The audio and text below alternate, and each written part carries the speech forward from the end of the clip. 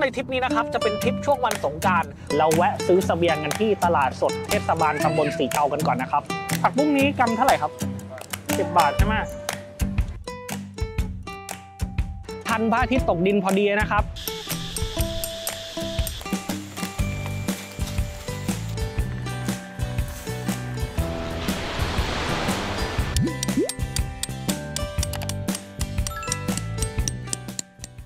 สวัสดีครับ ผมบุ๊บปั๊บนะครับ จาก Nature Trip Channel EP นี้นะครับ ปั๊บจะพาเพื่อนๆ ออกนอกเกาะภูเก็ตไปแคมปิ้งกันที่จังหวัดตรัง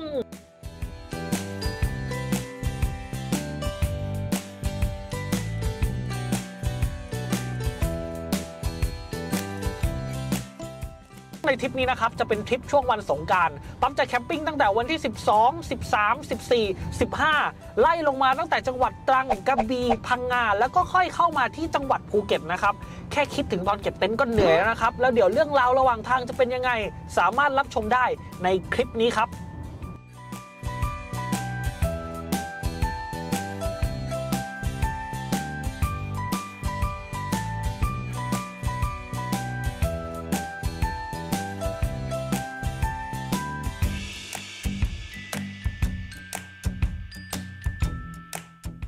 ทริปนี้แพงสุดก็ค่าน้ำมันเนี่ยแหละครับ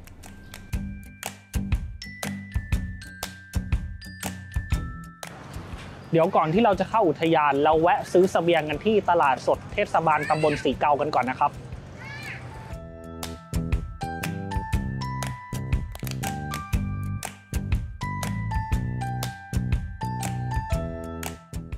ผักบุ้งนี้กำเท่าไหร่ครับ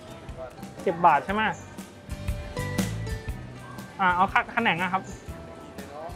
ครับเอางั้นเอาต้นหอมกับผักชีหนึ่งชุดสิบบาท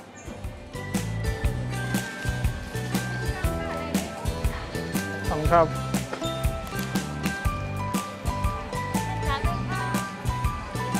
อันนี้เหรอคะอ่าเท่าไหร่ครับ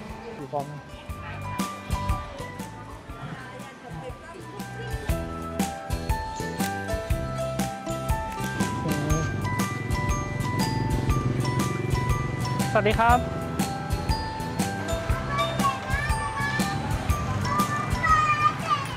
ตอนนี้นะครับผมก็ซื้อของเสร็จเรียบร้อยแล้วนะครับ แล้วเดี๋ยวเราจะไปแคมปิ้งกันต่อที่อุทยานแห่งชาติหาดเจ้าใหม่ครับ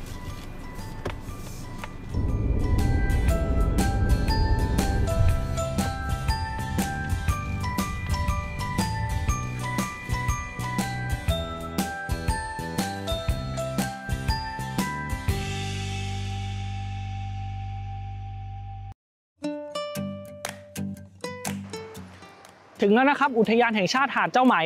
ทันพระอาทิตย์ตกดินพอดีนะครับ จริง ๆ วันนี้ปั๊บกล่าวว่าจะถึงให้เร็วกว่านี้นะ แต่ถึงค่อนข้างช้านิดนึงแต่ก็ยังดีที่ได้ดูพระอาทิตย์ตกดิน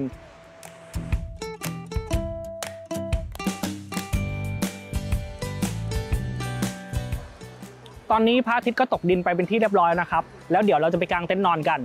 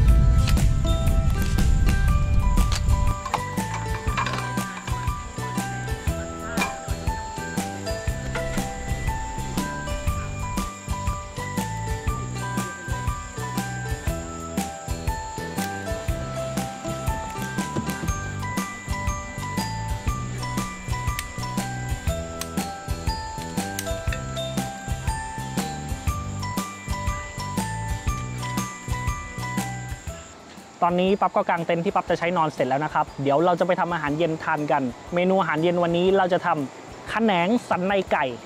กับไข่ดาวนะครับ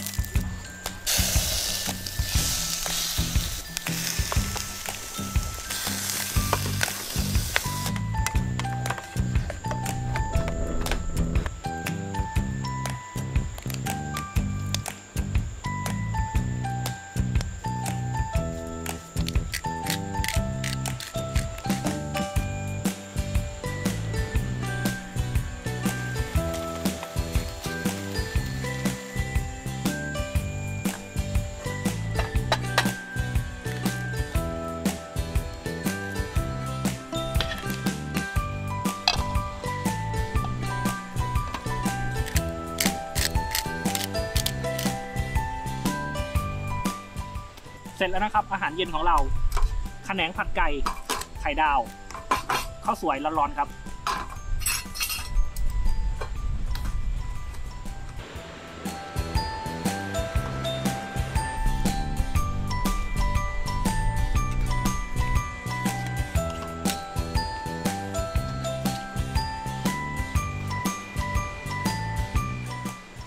สำหรับค่ำคืนนี้ที่อุทยานหาดเจ้าไหม บรรยากาศตอนนี้ค่อนข้างดี แล้วก็ปั๊บกังวลว่าตอนเนี้ยคืนนี้เราจะเจอพายุเนื่องจากตอนเนี้ยลมพัดแรงมาก มีโอกาสมาก ๆ ที่ฝนจะตกนะครับ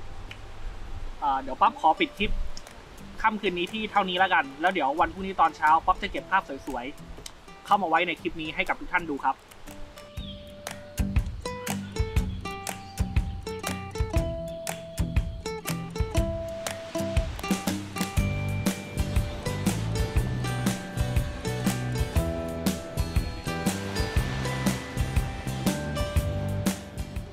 สวัสดียามเช้านะครับที่อุทยานแห่งชาติหาดเจ้าไหม เมื่อคืนนะครับฝนตกหนักมาก ถ้าผมปิดคลิปช้ากว่านี้นิดนึงนะมีหวังเละกว่านี้แน่นอนครับและนี่เป็นบรรยากาศยามเช้าของที่นี่นะครับถ้าเกิดคุณมองไปที่ภูเขาลูกนู้นนะ คุณจะเห็นว่าเหมือนกับมีหมอกนะครับซึ่งผมก็เข้าใจว่ามันเป็นหมอกนะครับ แต่จริงๆเนี่ยผมไม่แน่ใจว่ามันเป็นไอทะเล เป็นหมอกหรือว่าเป็นควันกันแน่ แต่ลึกๆแล้วเนี่ยผมเข้าใจว่ามันเป็นหมอกนะครับแล้วก็ทะเลยามเช้าของที่นี่เนี่ย ค่อนข้างนิ่งนะครับ นิ่งมากแล้วก็ตอนเช้าเนี่ยผมเห็นเด็กมาเล่นน้ำทะเลกันนะครับ เดี๋ยวนะครับเราจะไปทำอาหารเช้ากินกัน ก่อนที่จะมูฟไปที่จังหวัดกระบี่นะครับ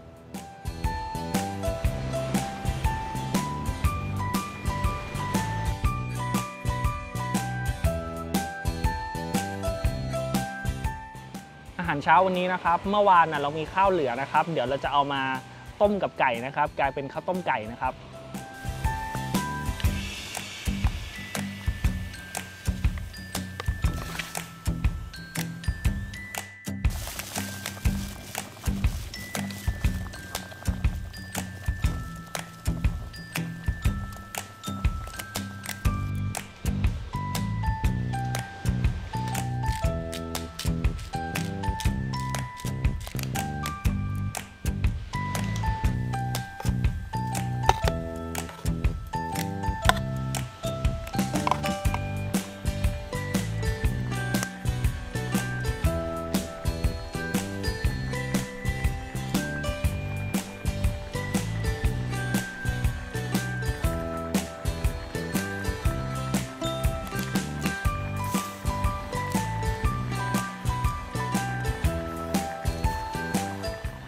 ร็จแล้วนะครับข้าวต้มแบบง่ายๆ จับใส่จับใส่แป๊บเดียวเสร็จครับ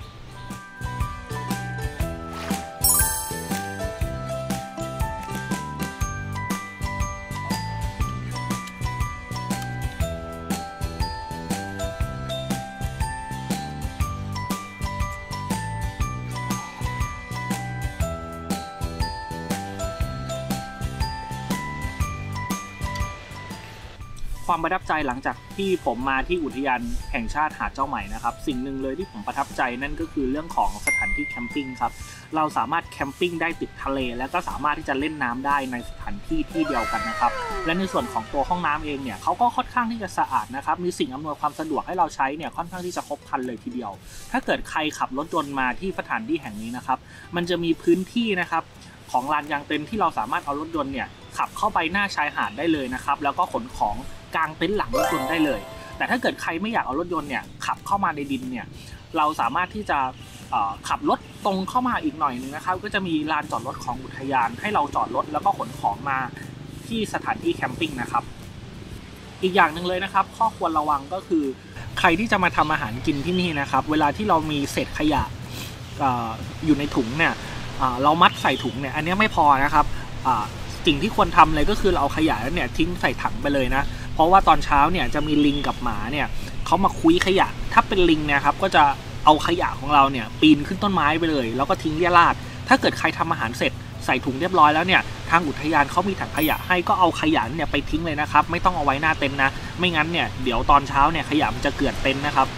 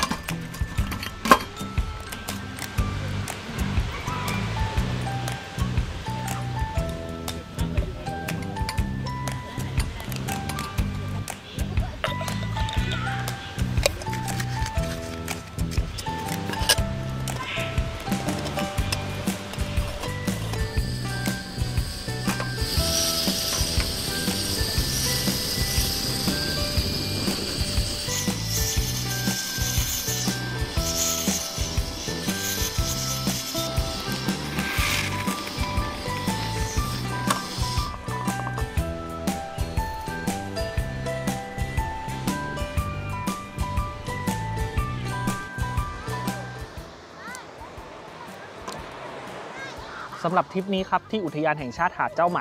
ก็จะเป็นประมาณนี้นะครับ แล้วเดี๋ยวป๊าก็จะเก็บของเตรียมมูฟไปจังหวัดกระบี่ท่านเพื่อนชอบคลิปนี้ครับอย่าลืมกดไลค์กดแชร์ให้ปั๊บด้วยนะครับ และเพื่อไม่ให้พลาดคลิปใหม่ๆ อย่าลืมกด subscribe ช่อง Nature Tip Channel ด้วยนะครับสำหรับทริปนี้